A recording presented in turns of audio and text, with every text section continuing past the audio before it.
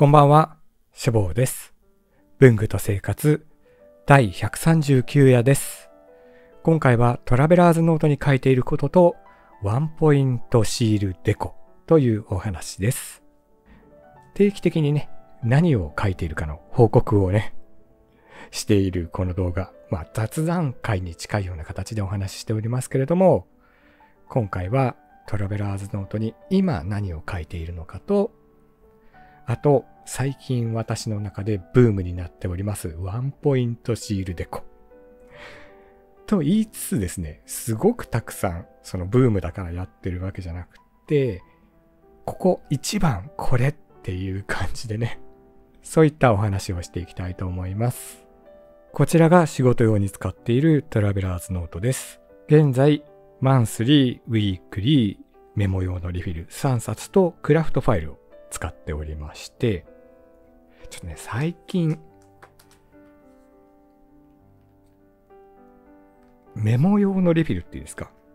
雑記帳用のリフィルがだいぶ 変わってきてまして、この、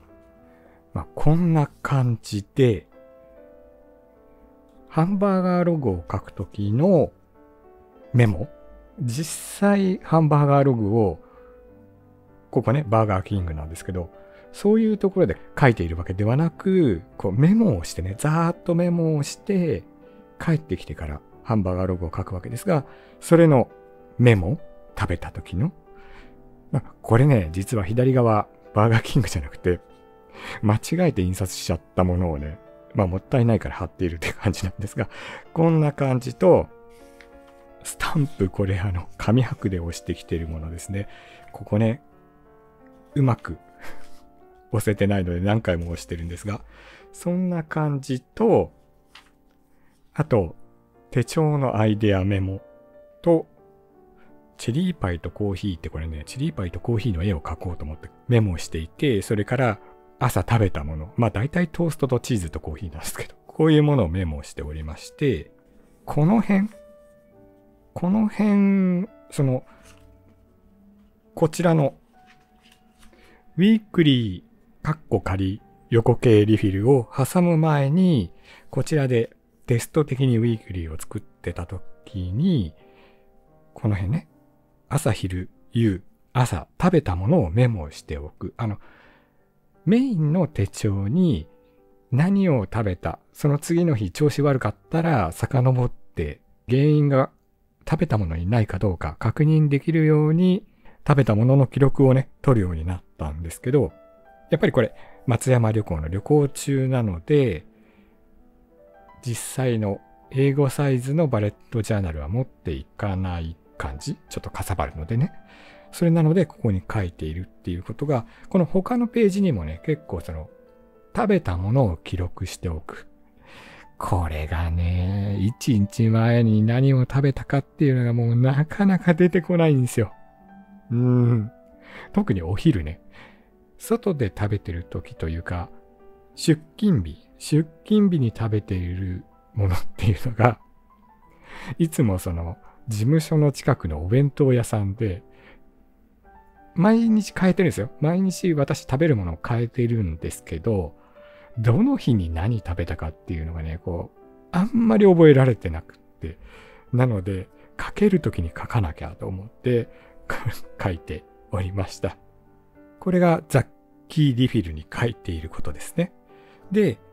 このザッキーリフィルに、こうなんていうんですかね、自由に書いちゃうというか、実際ウィークリーを用意していて、そちらにも書こうと思ってるんですけど、なんとなくここに書いちゃってるんですよ。で、ウィークリーの方は、ちょっとね、なかなか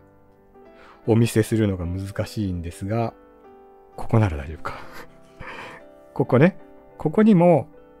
食べたもの書いているんですよ。まあ、あと予定ですよね。予定、あと、ごめんなさい。あの、健康診断がありまして、はい。こんな感じでありまして、これをね、なんかうっかり雑記帳の方に書いちゃうんですけど、せっかくね、ウィークリー作ったので、ここにも何か書きたいので、できればこっちに書きたいな。予定を書いて見ている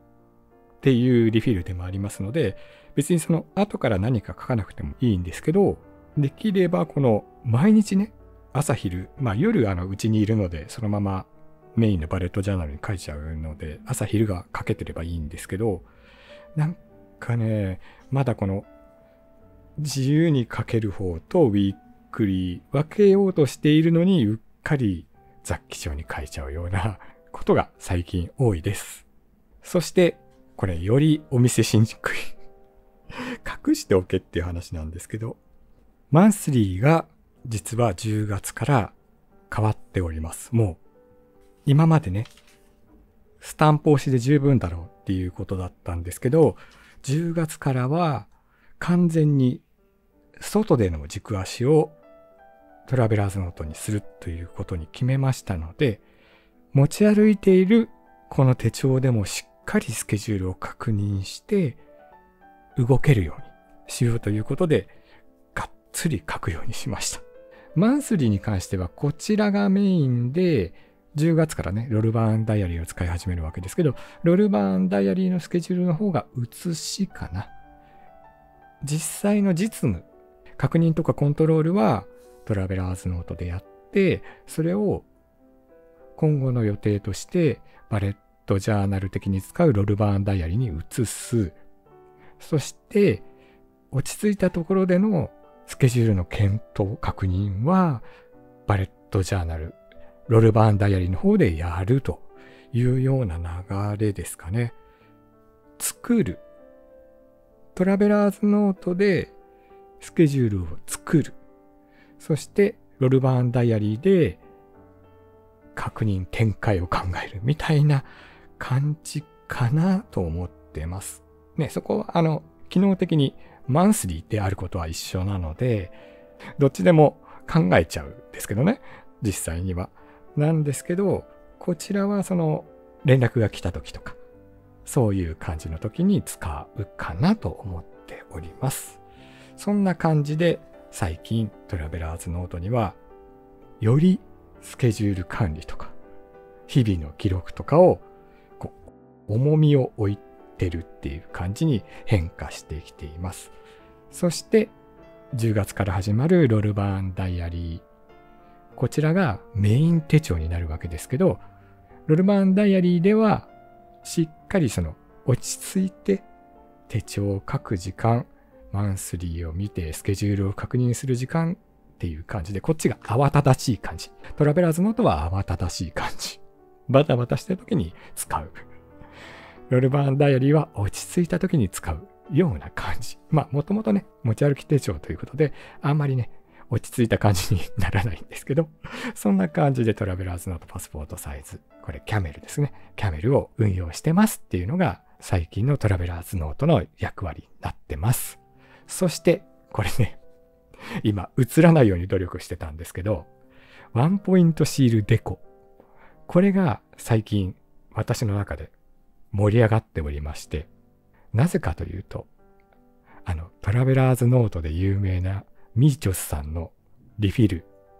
こんな感じで、で、そう、全部のね、あの、最近こんな感じでってこう並べてるのを見て、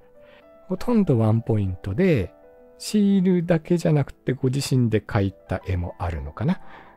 そんな感じでこう、ワンポイントでリビルに絵が入ってるのがとてもかっこよく、真似したいなぁなんて思っておりまして、で盛り上がって、今回ね、こちら。横系のリフィルの表紙にチョコパンを貼ってみました。前回レーズンパンって言ったらですね、この前田特集印刷さんからこれごめんなさい、チョコレートなんですっていうのがありまして、チョコパンなんですけど、これね、あの、こういうワンポイントちょっとかっこいいなって思ってまして、これね、特にこちら側オレンジなので、ちょっと色味差はありますけど、ここがいい感じに効いてるんじゃないかと思っておりまして、ね、これ本当にその、紺色とオレンジ、白でできたシールが、ちょうどなんか全体のバランスよくって、かっこよく貼れちゃったなぁと思ってるんですけど。はい、こんな感じでね、ワンポイントでリフィルに貼る。えっとね、裏側はね、貼ってないんですよ。これちょっとどうしようかと思っていてちょっ、となんか余計かなと思っているので、今のところ表紙にワンポイントということで、またこれがね、その前田特殊印刷さんのシールがこれにまた合うんですよね。そのトラベラーズノートのワンポイントとしてなんか非常にこう相性がいい。この他のね、シリーズのシールとかもなんかその合うんですよね。単色なのもいいし、少し青と赤の半ずらしてるっぽい感じのやつとかもね、まあこれがいいんですよ。でね、今回動画を撮るにあたってこう用意してね、ただ、ただ、まあ貼るだけなので、動画でこれを貼るところをお見せしてもと思ってもう、貼ってここのお話をしようと思ってたんですけどね。前日のことですよ。この動画を収録する前日、インマイルームの店さんが、シールワンポイントで貼るのいいですよねって言って、貼る道と書いて波動と呼ぼうとかね、おっしゃってて、これ、ネタかぶったわーと思ってね。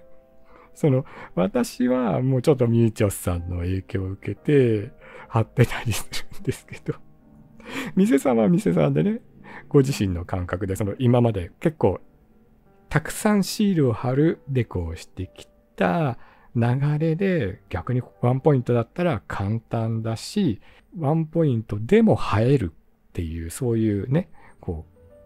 う流れがあったんでしょうよ。そこでね、全然私とは、まあ、考える道筋が違ってはいたんですけど、結果としてね、同じタイミングでワンポイントシールデコがいいっていうことになって、ほぼ同時っていうのが本当に面白くて、私はそれを面白がっております